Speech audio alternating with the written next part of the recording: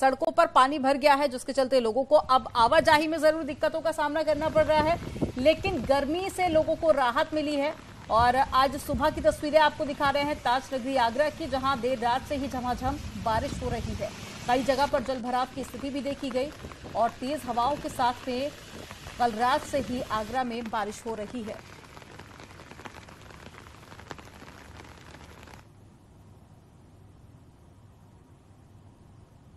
मुख्यमंत्री योगी आदित्यनाथ दिल्ली के दौरे पर हैं। सीएम योगी आज नीति आयोग की बैठक में शामिल होंगे और सीएम योगी नीति आयोग की बैठक में सात मुद्दों पर यूपी की प्रगति रिपोर्ट रखेंगे। इसमें बुनियादी ढांचा पीएम गति शक्ति प्रोजेक्ट और एमएसएमई और साथ ही महिला सशक्तिकरण के क्षेत्र में राज्य के बेहतरीन काम को पेश किया जाएगा।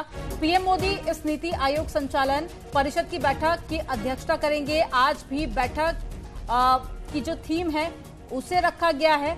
आज की जो बैठक है, वो विकसित भारत 2027 को लेकर ये थीम रखी गई। इसके अलावा कल नए संसद भवन के उद्घाटन कार्यक्रम में मुख्यमंत्री योगी आदित्यनाथ शामिल होंगे। और ज़्यादा जानकारी के साथ में दिल्ली से पवन गौड़ जुड़ गए हैं। पवन, दो दिन मुख्यमंत्री योगी आदित्यनाथ दिल्ली में ही बिताने वाले हैं। क्या कुछ उनके कार्यक्रम रहेंगे और बैठक को लेकर क्या ज़्यादा जानकारी आपके पास?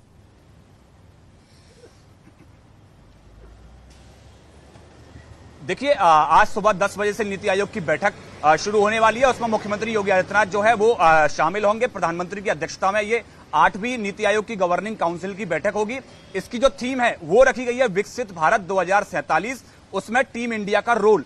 तो उस थीम पर यह बैठक होगी। इस बैठक में मुख्यमंत्री योगी आदित्यनाथ जो है भाग लेंगे और उत्तर प्रदेश में किस तरह से विकास तैयार का खाका तैयार किया जा रहा है, किस तरह से विकास के काम किए जा रहे हैं केंद्र और राज्य सरकार मिलकर, चाहे वो हाईवेज की बात हो, या इंफ्रास्ट्रक्चर डेवलपमेंट की बात हो, या एयरपोर्ट्स की बात हो, या जॉब क्रिएशन की बात हो, या एमएसएमई की बात हो, या महिला सशक्तिकरण की बात हो तो किस तरह से केंद्र और राज्य सरकार मिलकर इन सभी आयामों पर काम कर रहे हैं, उसकी जानकारी मुख्यमंत्री योगी आदित्यनाथ देंगे।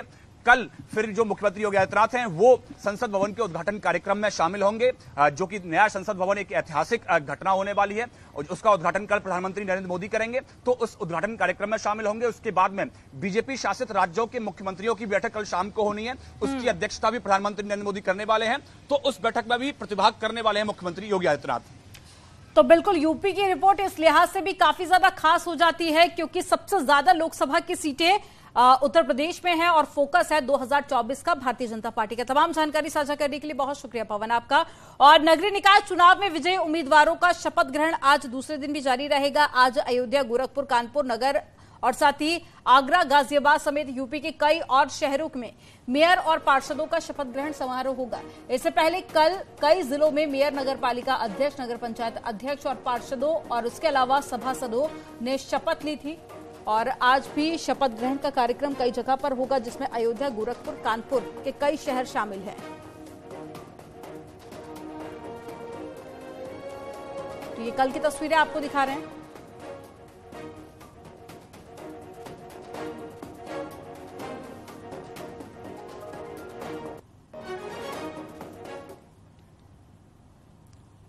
फिरोजाबाद में मेयर कामिनी राठौर का शपथ ग्रहण समारोह, डीएम ने शपथ दिलाई है और 70 वार्डो के पार्षदों ने भी शपथ ली है। तो ये ताज़ा जानकारी आपको बता रहे हैं, जहाँ पर 70 वार्डो के पार्षदों ने शपथ ली। और चलिए अब बात कर लेते हैं मेरठ की। और जहाँ पर माफ़ कीजिएगा, मथुरा से ये खबर है जहाँ पर पुलिस और बदमाशों की मुठभेड़ हो गई है। मुठभेड़ में हिस्ट्री शीटर समेत नौ बदमाशों को पुलिस ने अरेस्ट कर लिया है। बदमाशों के पास से पुलिस ने 9 एमएम पिस्टल राइफल, तमंचा और साथ ही दो कार बरामद की है।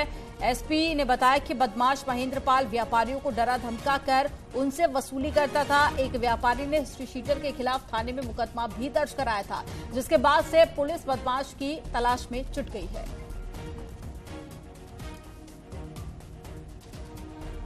पिछले काफ़ी दिनों से ओल के व्यापारियों से एक्सटार्शन कर रहा था और उनसे चौथ वसूली का प्रयास कर रहा था, जिसके संबंध में थाना फरा पर अभियोग पंजीकृत था। आज इस सूचना पर कि उसका मूवमेंट इधर हो रहा है, ओल के पास बाघई बॉर्डर पर थाना फरा और एसओजी की टीम द्वारा उसकी घेराबंदी की गई। घेराबंदी के दौरान उसके द्वारा पुलिस पार्टी पर फायर किया गया, जिसके जवाब में पुलिस ने फायर किया और महेंद्र पाल के पैर में गोली लगी है, उसके एक साथी ओम प्रकाश के भी पैर में गोली लगी है। उसके साथ कुल सात और व्यक्ति थे, जिनको पुलिस ने घेराबंदी करके गिरफ़्तार किया है। बदायूं में गैंगस्टर अमीर गाजी की 21 लाख की संपत्ति कुर्क कर ली गई है और डीएम के आदेश पर कुर्की की कार्रवाई की गई।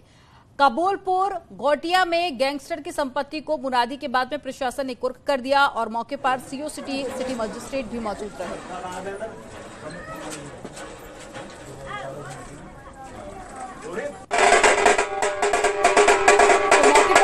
तो मजिस्ट्रेट भी मौजूद रहे। इक्कीस लाख नब्बे हज़ार रुपए की संपत्ति को कुर्क किया गया और साथ ही भारी संख्या में पुलिस बल भी तैनात रहा। तस्वीरें आपको दिखा रहे हैं बदायूं की।